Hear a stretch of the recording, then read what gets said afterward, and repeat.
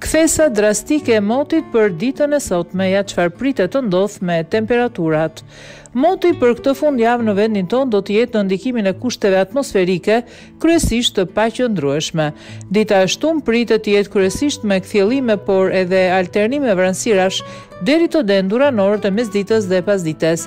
Dita e diel pritet të jetë në ndikimin e vranësirave ku nuk do të mungojnë Edhe intervalet e shkurtra me diell, vranësirat do të shoqërohen me reshje shiu të herëpashershme përgjatë gjithë ditës me intensitet të ulët dhe mesatar në formën e shtrëngatave.